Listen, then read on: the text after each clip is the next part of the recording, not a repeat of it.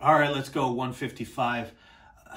This is the uh, State of Ohio High School Girls Wrestling Preview brought to you by Bodycraft Fitness. And listen, I at first at first glance at 155, I'm thinking it's going to be the Kylie Tate Savannah Holderby show and everybody else be damned. But listen, there are 19 19 returning state qualifiers in this bracket. You say, how, well, how can that be? There's only 16 that go to the state tournament. Obviously, there are some that qualified in years prior that didn't make it to the Schottenstein Center last year. This is the deepest weight. It just is. Um, yes, you have Tate and Holderby at the top, one and two. Tate is one, Holderby two. And yes, you got a little bit of a rivalry going between those two, and I think everybody else is going to be gunning for them because of their, um, you know, their their success in tournaments and at the state tournament last year because a lot of these girls that were state qualifiers have beat each other and the rankings will reflect that. But you gotta you gotta take into account at one time or another the experience that these girls are all bringing to the mat at 155 pounds. So let's dive into it. Nationally ranked number 18, Kylie Tate is gonna be your number one ranked wrestler at this weight class. She's a senior from Warren. She is a three-time state place winner. She started out in 2021 taking sixth.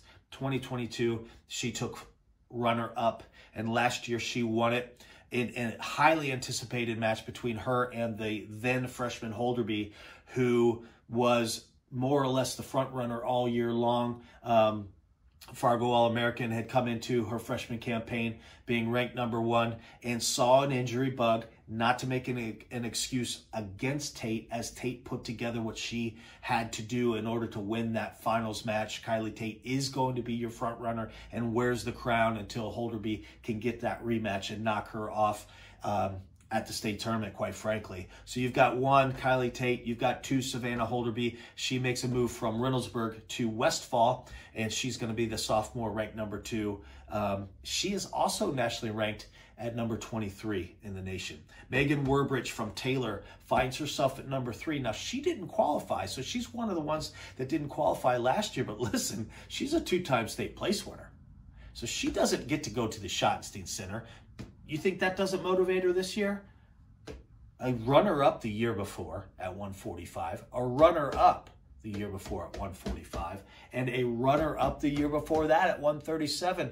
Megan Werbrich knows how to get it done. She knows how to get to the, the finals matches. She was not able to qualify last year, so you got to think the third ranked uh, wrestler, senior from Taylor, is going to be gunning for the top of the podium this year as well. Michaela Newland did qualify last year. She's currently uh, ranked number four. She took third last year and fifth the year before. She's a senior. She's going to be gunning for the top of the podium as well. Isabella Adams is somebody that you're going to see in tournaments that knows how to get it done too. She's two-time state place winner. She's a junior. She's ranked number five. She took fourth two years in a row at the state tournament.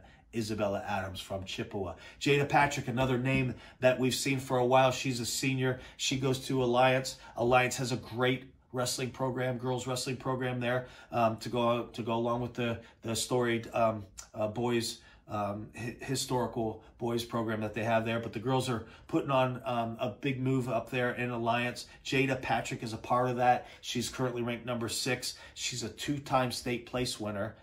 Um, she took eighth last year. She got beat by early on by Holderby, and that was one of the um, uh, the reasons why she moved right down into the consolation bracket right off the bat. She, she takes eighth, but two years prior to that, in 2021, she took third at 150 pounds. So again, all the way down at six, we have Jada Patrick that knows how to get it done.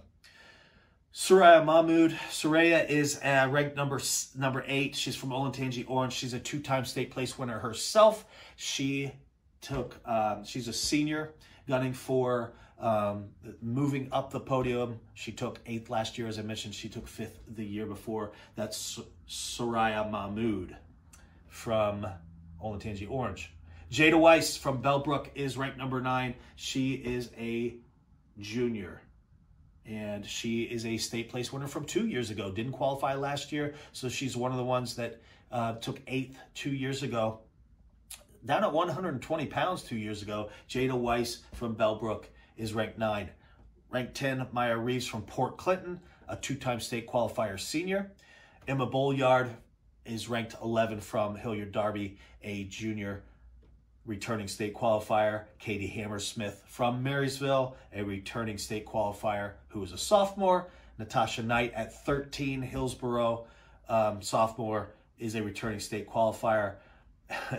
you want me to keep going? I'm going to name a bunch. I'll just skip down to um, all the way down at uh, ranked 17 is Emma Watkins uh, from Watkins Memorial. She's a senior state qualifier. 19, Hattie Hobar, ranked number 19 from Avon Lake, is the senior. She's a, a state qualifier from two years ago and didn't qualify last year, but look, you've got her um, currently ranked number 19. So it shows you the depth of 155.